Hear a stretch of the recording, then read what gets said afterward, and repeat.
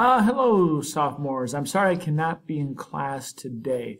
Um, I actually have to go to my house and pick up my daughter. It's her first day of school, and there's no one there to get her off the bus today. So that's where I will be.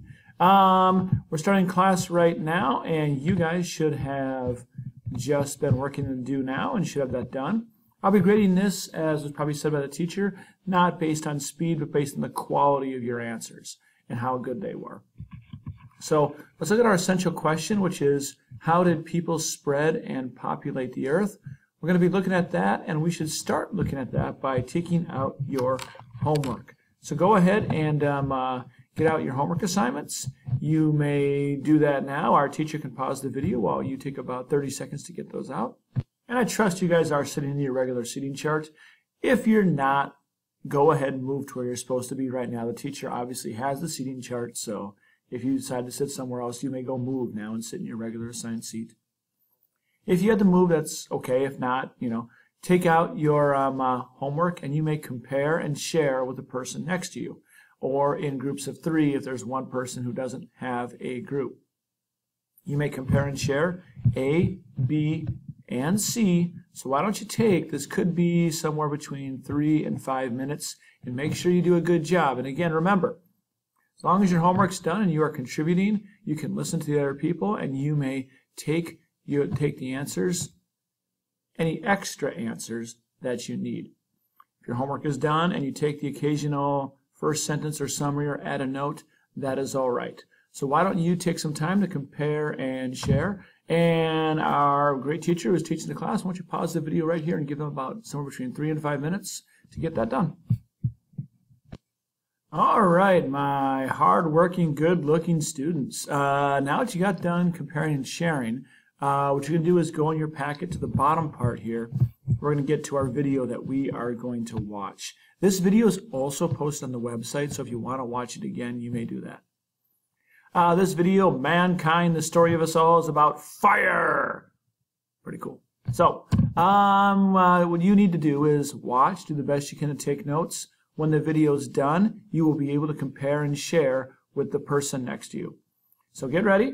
Uh, the video will be shown. Take good notes, and then you'll compare and share. You will be able to use these notes in your test. So do a good job, all right? Make sure you get some good notes down, especially those who don't always like the reading. You can use more notes from the video. All right, let's do it. All right, uh, now that you've watched the video and now that you've uh, compared and shared about fire, we now have enough information where we can start looking at take-home test. So now our take-home test will be um, uh, passed out. And why don't we take um, uh, Yasin and Anai? Yeah, I can see you. I see you there. Yeah, why don't you guys come up front, uh, take these tests from the teacher, and make sure everybody gets a copy so you guys can pass those out. Yeah, I see you. See you. Anyway, so pass those out right now. Uh, make sure everybody gets one copy. Take a quick pause while those are being passed out. Now let's take a look at our test here. All right. So this is going to be a take-home test, which means you get to take it home and write it. It's kind of like in between of a paper and a test, though, because it's going to be uh, full paragraphs to write. Let's look at our question here. So um, uh, um, test question one. This one is worth 20 points. You want to do a good job on it. Looking back at your rubric here for um, uh, what we need to get a 3.0, uh, 3.5, 4.0, we need 40 points for a 3.0, 50.5 for a 3.5, 56.5 for a 4.0. Your test is worth 40 points. Question one is worth 20. So you want to do a good job. You want to make sure your notes are done. If you haven't gotten the website yet, you may answer that question. By the way, those who posted, they are going to show up. They don't show up right away when you post on there, I have to approve them. So some people are freaking out about that yesterday, but once you post, it might take an hour or two for that to come up because I have to approve it. So um, anyway, let's go look back at our um, uh, take-home test and question number one. The skill we're working on is cause and effect for this one. So we're looking at what was the cause, what was the effect. Let's look at our prompt. Prompt pretty much means a question, although it could be a statement. So prompt is basically, here's what you are supposed to do on this question. So the prompt is telling us what to do, and it says name two tools used in the Paleolithic era that give two to three details. Um, I didn't read that right. Let me try again. Name two tools used in the Paleolithic era and give two to three details explaining how these tools affected life for humans. Why don't you do this right now, this question? Circle what you think are the most important words that are telling you what to do in this prompt. So take a look at it, circle or underline two to three of the most important words that are in this prompt that are telling you what to do. You may do that now. Take about, oh, 30 seconds to get that done, and uh, the teacher who's instructing and doing a great job, you may pause this video. All right, so if I'm, like, I highlighted mine here, but if I'm uh, circling, underlining most important words, two tools. I have to have two tools I'm going to pick here. Got to be from the Paleolithic era. Looking for um, uh, two to three details there. Let me get that two to three. Uh, good enough. Two to three details and explaining how these tools, big term here, affected life. You got to see how these things affected life. So, what do I want in front of me? I obviously want my take-home test in front of me, but then also at the same time, I want to have my notes in front of me too for my packet, especially the parts where we got to A, B, and C and everything on here. Ooh, we have different examples of tools there. I want to have this in front of me, and maybe I even want to have my reading or my phone in front of me to AP Worldopedia 1.1. This will give me the access I need to the information, the evidence that I'm now going to use in my take-home test. So let's look at that take-home test right now, and let's start this off with probably the one that's going to be the easiest and have the most information. Now, of course, that tool probably fire. So right here, anyway, right here, what you may do is under tool or your evidence, you may write down, let me bigulate that. All right, and we have the word fire. Now what I want to do is I want to look through my notes and I want to see how did this tool change life. There's a lot of evidence you got from that video you were just watching. So what you may do now is go through that video, go through your notes. If I'm looking at my AP Worldopedia notes, oh, A is kind of a big deal with fire right there. So I could go to my, where are my notes here again? Oh yeah, so I can go here to part A where it's talking about fire quite a bit. I could take notes from there. And you're looking for evidence for how it affected life. You can use some of your own inferences here, but you do need facts. So I'll say this, have at least two facts from the reading for your details. Start with two facts, and then if you want to connect to an inference, you may do that. But make sure you have at least two facts in the reading. So why don't you right now take some time, take about a minute or two, go back to your video and put evidence of how fire changed life. And why don't you do that right now?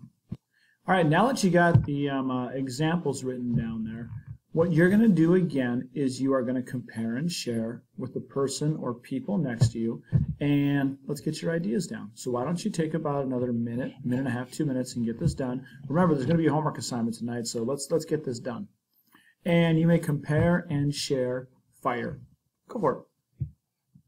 All right, now our compare and share step is done. Um, our teacher, um, who is instructing the room and doing a great job, um, we'll now call on a few people um, and let's hear some of the answers you guys have. And as they're said, if they're good, you may copy these down. Make sure you have two or three details in there.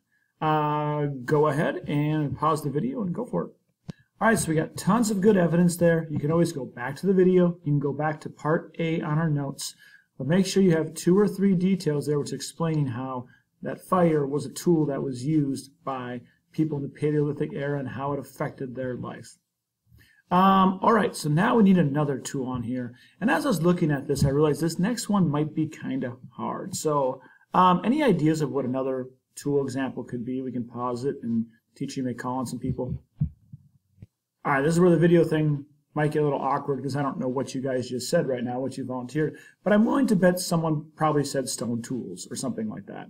Um, so stone tools could definitely be used on here. We had that for our optic, which came from this picture here. It's also in Part B of AP Worldopedia. And if I look at this paragraph here, it does give me some information, especially right here, about how tools were used and how they would have affected life. So let me look at this real quick. I'm going to read this. It says, um, uh, tools made this possible. Bones, rocks with sharp edges, and small pieces of copper were used to scrape hides, hunt, fish, and sew. As these mobile bands came in contact with each other, they borrowed ideas and tools. So let me take that to our graphic organizer. And I think I'm going to put down like bone and stone tools. And how did it affect their life? Try to put down at least one, two, three details if you can, first from the reading on how it affect their life. Take about 30 seconds or a minute to do that right now, especially from part B in your notes. Go for it. So on your notes, you may have put down like, you know, how they basically used the scrape hides, fish, so if you don't have that, you can put that down right now. And I can also extend this a little bit. Like I might put, well, this allowed them to develop better tools. And I know by looking at a map like this one over here, right, that one right there. Yeah, yeah. No, yeah, no. That one. Yep. I know by looking at that map, well, geez, how does this affect their life? They're able to sow, they're able to hunt, they're able to fish, they're able to trade with other people. Well, looking at that map, huh, they're able to travel like all over the world. So for both fire or stone tools, I could put down that one effect of having these tools means they get to live in cold climates. Now, the reading doesn't say that. But when I look at the map, I can kind of infer it. It's like, okay, they go everywhere. We did this optic earlier. They have these tools where they can sew, they can kind of make clothes, they can have fire to keep warm. So one effect I could put down for either fire or stone tools, or both actually, is that having tools and fire allows them to live in colder climates. This is kind of like putting it all together. It doesn't tell me that in reading. I got to kind of read between the lines. And I can see again by looking at the map, well, this is what causes Homo sapiens to live all over the world and people the earth. So what do I do with that evidence? Well, my evidence is in here. I have some specific details that is word from word based, well, not word from word, I paraphrase it obviously, that I take paraphrasing from the notes and I put them here. And again, if I'm taking it from my notes and I've already paraphrased, I'm good. I just put it down here, paraphrase notes on how fire affected their life, how bones and tools affected their life, direct evidence in the reading.